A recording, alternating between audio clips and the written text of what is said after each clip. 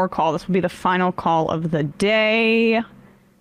Calling from a 608 area code. Who's this? Where are you calling from? Hey, this is Lucas. Hi, Emma. How's it going? I'm Lucas. from Minneapolis. Uh, you are the final caller of the day. What's on your mind? Oh man, we stepped into it today. Uh, I wanted to talk about the dog stuff. Okay. yeah. Um, I'll preface I'll, I'll preface everything with the fact that I I don't know leftist, pescatarian, and dog owner, but I work in med device development, which is a problematic industry of its own, similar to pharma, but it has a place. Fetterman's got a pacemaker. That's like an important development. And the interesting thing about, well, I mean, Oz is trash, and I have no, I have no context around the uh, labs he runs or how any of that works. But the FDA mandates all development of devices to go through statistically relevant uh, test sizes.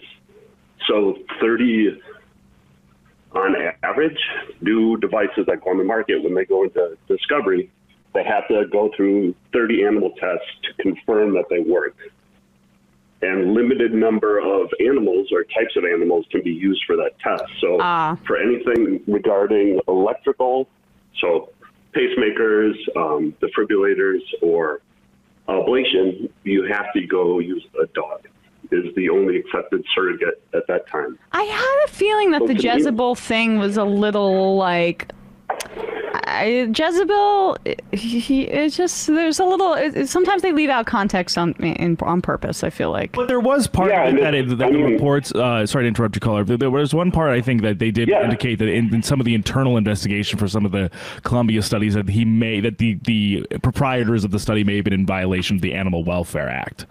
So right, I, I- Yeah, I, think that and- might be the biggest point of point of like you know the actual sticking point is that I, I, I take your point in the sense that that's probably like you said that that is they you know the what they are actually required to you know test these things on. But I think just like I think the the law violation. I'm sure they just like you know oh we killed hundreds of puppies is pretty sensationalist to begin with. But I feel like that's Yeah. probably the real crux there is the Right. Animal Welfare Act violations potentially.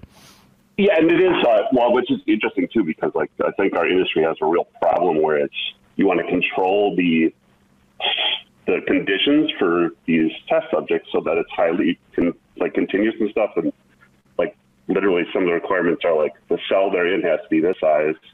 It has well once they're implanted, like usually they're out on the farm beforehand.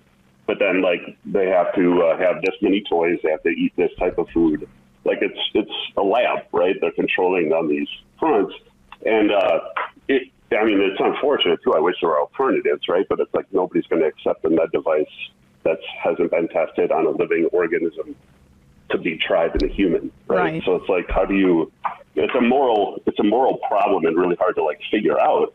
But at the same time, like it's the, uh, and I know like every animal lab that ever runs these types of studies runs into the problems of hitting those, or like uh, skirting the boundaries on that stuff because the customers that, like honestly, like the big companies like Medtronic, Boston Scientific, these huge med device conglomerates push them to make it as concise and repeatable as possible, which means that there's no, uh, like they, yeah, it's a capitalist issue as everything is, but yeah, it's, uh, I don't know, wanted to provide some context and I appreciate it. I mean, honest, and yeah, it's uh, it's weird because it used to be like chimpanzees and all sorts of other weird animals that you would use, and and it's kind of how do you how do you ethically choose which animals are worth testing on? It's a weird weird paradigm to work with. Right, right. All right. Um, well, I I appreciate that that extra context. I mean, what is it like uh, working with um, working in the medical device industry? Uh, fascinating. Um, it's uh, I, I mean, I enjoy it. I specialize in like heart valve and frame development for transcatheter devices, so it's a very weird niche I've found myself in as an engineer. But the uh, um, yeah, it has its parallels to, you know, there there are days. It's it's funny how how often we tell ourselves in this industry that it's, um, you know, for the benefit of the patient, we make people healthier and blah blah blah. But a lot of times it's uh, you know, the, the background is you're profiting off of people's precarity in life. Um, and kind of, you know, interesting point comparing today with the interview. It's it's hard to like understate like how uh, our system generates health outcomes that require these devices. Um, it makes it a lot more common, and how like diabetes is actually one of the you know med devices that treat the heart when people go into heart failure. Diabetes is one of the most growing industries to, to bring these things forward. It's like good, guaranteed healthy food and less stress in our lives would cause a lot of the stuff that we have to design go away.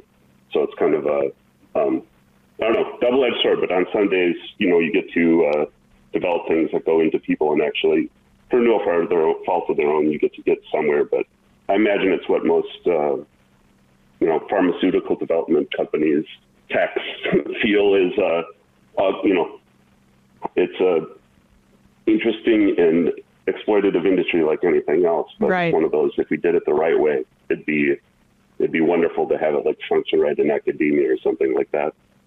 Well, thanks, Lucas. I really appreciate the context that you provided. Uh, thanks for calling in. No problem. Have a good one. You guys you are too. awesome. Yeah, you too. Thanks so much. Bye.